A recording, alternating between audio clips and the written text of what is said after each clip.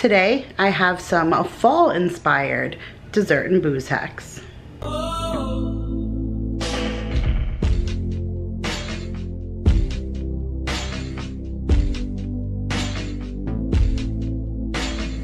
Hey guys, Kira here from 50 Shades of Mom, tips for all shades of a mom life. And in today's video, I am back to share with you this month's dessert and booze hacks. And I have four desserts to share with you and one drink, and they're all fall inspired, or at least things that just gave me all the fall feels. And I wanted to share them with you guys. Now, I had another time where I had some unsuccessful hacks. Now, I still like to share them with you guys because you guys critique me in the most amazing way, and I absolutely love that. Everyone always points out to me nine times out of 10 in a positive way, hey, maybe next time try it this way, or I think it worked that way because you did this. Now, I'm not a perfectionist, nor am I a chef by any means, so I definitely make mistakes in the kitchen, and you guys always point them out to me, and then I'm able to correct them moving forward forward. And that's the best way to become good in the kitchen is to learn from all of your mistakes, which is try what I try and teach my children while cooking with them, especially Jacob, who's really been divulging. He's taking culinary in school and he's definitely had some flips and some flops while he's learning some things. And I wanted him to be able to see in this video alone that some of these recipes just did not turn out the way that they were expected to. Now, one, at least one, was absolutely hands down. Crowd pleasing amazing. The entire dessert went that one night and we will make it over and over again. And you probably could switch things up a bit and be a little bit more creative and open the doors and change the flavor profile and turn it into a whole nother dessert. But that's for a whole nother video for right now. But I promise you there's at least one excellent amazing recipe that's going to come out of today's video that you guys can take for moving forward. But I am surprised that we had a couple of flops. So let me take you down to the kitchen and I'm gonna show you what worked and what didn't. So we're going to start off with one of the recipes that I considered a flop. Well, not necessarily a flop, but definitely something that I learned from and I will do better in the future. So this is a three ingredient slow cooker cobbler. And it says, while the recipe title sounds a bit drab, like the great aunt of desserts, you get to use a bit of evil genius while concocting the perfect pie filling slash cake mix flavor combo. And basically, it's any kind of pie filling with any kind of cake mix and butter makes an instant cobbler. So I figured with this time of year, why not do pumpkin? So I have a box of the Great Value spiced cake mix, one stick of salted butter, and then a one can of pumpkin puree. I have our crock pot here, and I do have some cooking spray, even though there's a liner in there, I am gonna just spray the inside of the crock pot. So I spray the inside of the crock pot, and then here's where things already started to go wrong. So I put in my pumpkin puree at the bottom and realized once I did that that I should have used pumpkin pie filling. This was just puree that I had in my pantry that I thought, hey, I'll just get spice cake mix. I already have butter and boom, instant cobbler. But puree doesn't have flavor like that. There's no allspice, there's no cinnamon, there's no nothing. I should have used the actual pie filling or seasoned my pumpkin puree because once you get a layer of your pie filling at the bottom, you're going to melt that stick of butter in the microwave and then mix in your choice of cake mix and then put it on top. And that's it. Cook it for three hours and there's your instant cobbler. And I was thinking of all these creative ideas. Like, what if you did blueberry on the bottom with lemon cake up top? Or what if you bought like custard filling and did a chocolate cake up top and did like a Boston cream pie dupe? Or even Black Forest cake with still using like a German chocolate cake up top, but then a cherry pie filling down below. I just couldn't stop thinking about all the different things that you can do. So I was so excited when I closed the lid and I was like, that's it. We're going to set it for three hours hours and then we're gonna let this thing cook up and it's gonna be this most delicious like pumpkin spice cake cobbler. And I was really really excited about it until I started to watch it cook and I started to smell it and it just didn't smell like pumpkin pie should smell because there was no cinnamon and allspice and all that. And so it looks good. This is just a snapshot of it. I put a little whipped cream on the side with a little pumpkin spice and the actual cake itself cooked really well. It was super moist and flavorful, but the pumpkin was just pumpkin. I mean, I mixed pumpkin into my dog's food. So it was definitely different and I will try that again, but I'm going to try it now with using some of those other things that I just spoke to you guys about because now I can't stop thinking about all those other things, but this one definitely did not check out. This, however, you guys, I'm labeling a flop. And I was so excited about this. This is the very first recipe in this dessert hack book, and it's coconut whipped cream. How does that not speak to me? So this says, unless you have some sort of aversion to coconut, this whipped cream is the bomb. Dollop it on ice cream, a slice of pie, or a cup of cocoa. And if you know someone who's on the paleo diet, do them a favor and let them know about this little dessert hack. Just cut the sugar for them.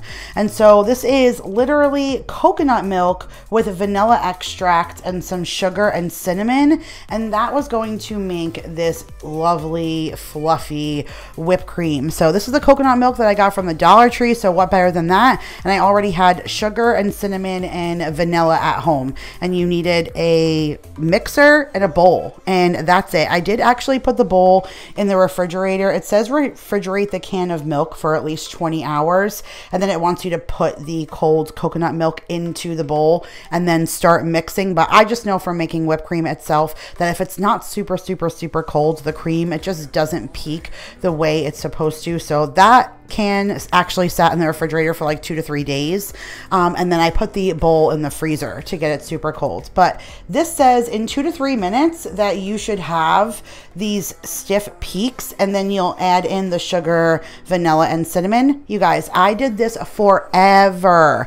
I came back and forth and you could see it got a little bit thicker, but it never got peaks. I don't know if this coconut milk just wasn't fatty enough to actually make a peak, but that is whipped cream. That's not even pudding. It's like it just it maybe ranch dressing consistency, but I got no whipped cream and I was so upset over that because I was actually going to use the whipped cream to share with you guys the next recipe. Now the next recipe was the grave success of this entire video and I will make that over and over again, but please tell me what I did wrong with this coconut whipped cream because I pretty much did everything I've ever done to make whipped cream before and it did not work. This one worked though, you guys, and this one, wow, wow, Wow. So this is a no-bake crunchy dessert lasagna and it says you've been forewarned. Your relatives will flock from distant lands the second they find out you're making this to die for cereal snack on steroids.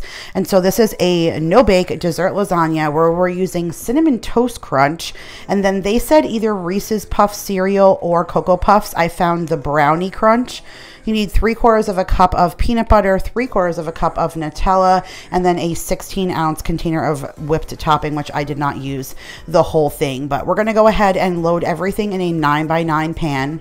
And you start by putting two thirds of the eight ounce container, a third, a third of the 16 ounce container, you're to go ahead and put on the bottom of this nine by nine. And then once you get a good whipped cream foundation, which I thought that was weird. I didn't think whipped cream was solid enough to be a base, but it worked just fine.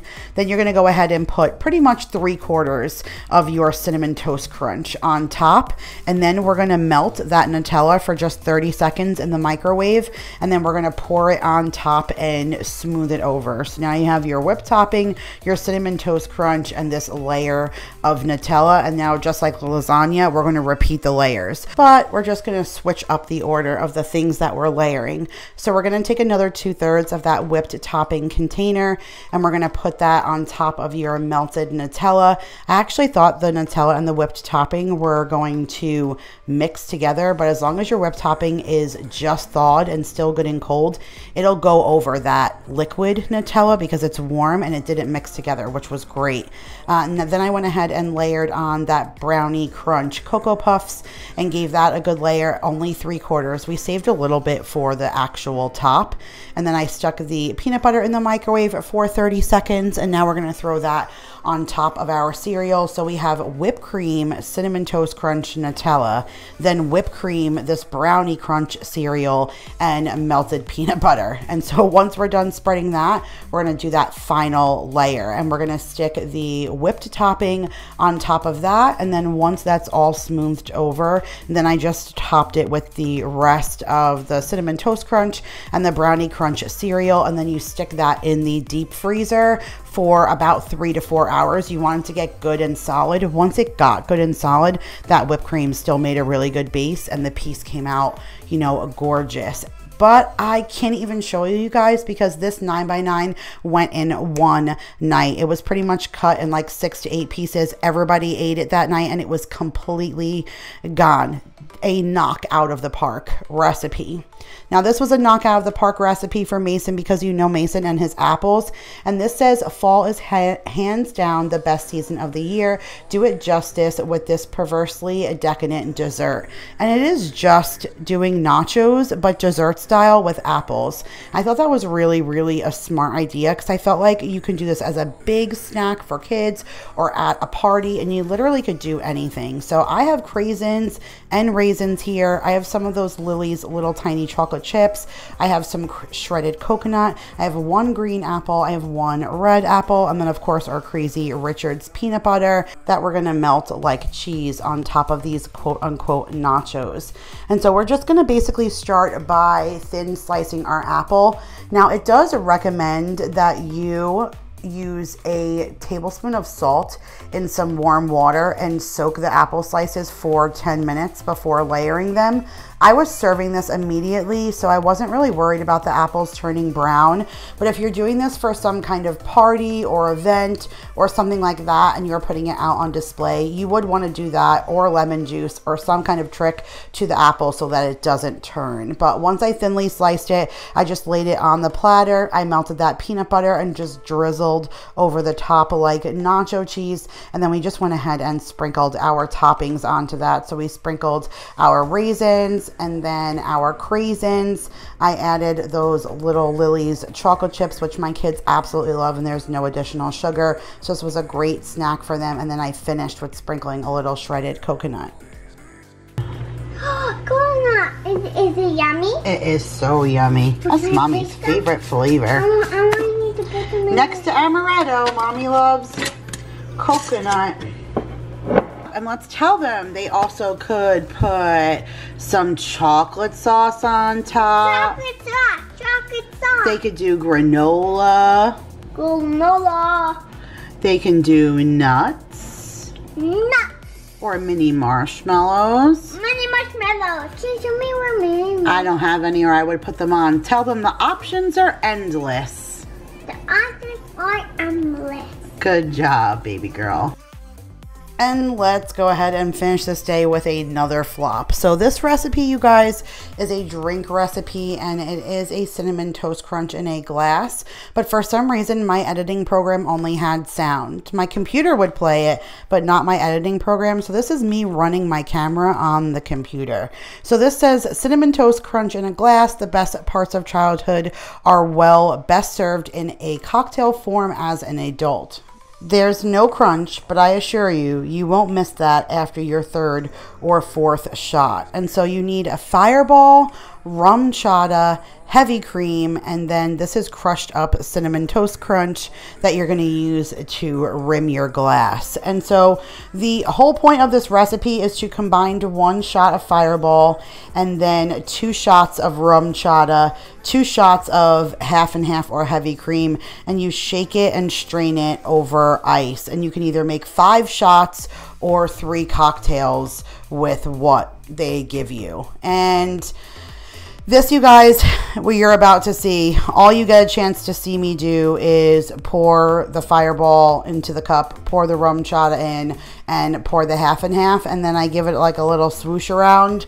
And then you're going to see that even the footage that would play on my computer, it's just about to stop right here. So the only thing you guys are missing is me pouring this out into another cup and I rimmed the glass with that crushed up cinnamon toast crunch and then I poured ice in and boom you can see. That's all I got. I actually backed the camera up so you can see that it's my laptop playing it and it only let me just share with you guys me pouring it into the cup like that and then that's it. I got nothing else. Um, but like I said all you missed me doing is rimming the cup with that powdered toast crunch and then putting ice in and pouring this over the ice. And Paul drank the entire thing. I do not know how it's either five shots or two to three cocktails. I took a sip of it. It definitely tastes like cinnamon toast crunch, but it had too much of a little bit of a fireball undertone and I'm not one for the cinnamon flavored whiskey like that. So I wasn't a huge fan of it, but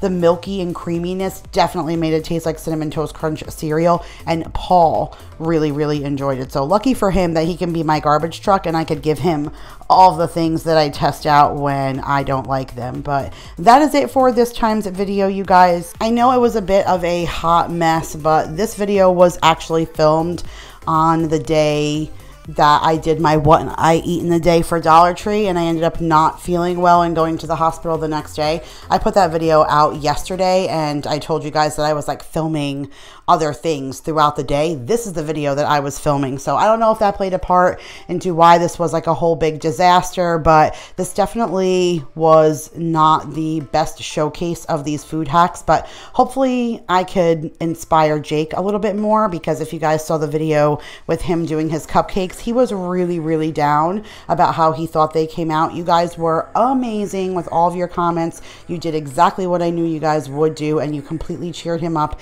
and he saw a whole nother side of his mistakes and being able to learn from them. His teacher in culinary even watched it and emailed me and said how proud she was that I was enforcing hand washing and all of that. But I mean, it's good to share with him that I failed too. Like I tried at a bunch of these recipes. You know, I'm going to make this cobbler better. I promise you I will be back with flavor combinations that are going to blow your guys' mind and it's going to be amazing. I'm going to figure out how to whip that whipped cream because mama wants some coconut whipped cream and next time I'm going to make sure that all of my footage works the best that it possibly can so that I can deliver you guys the best video that I can. But at least hopefully Jake sees that mistakes do happen. But thank you guys so much for watching. If you enjoyed this video make sure to give it a big thumbs up. Subscribe if you are new. I love you guys all so much and I will see you guys in the next one. Bye guys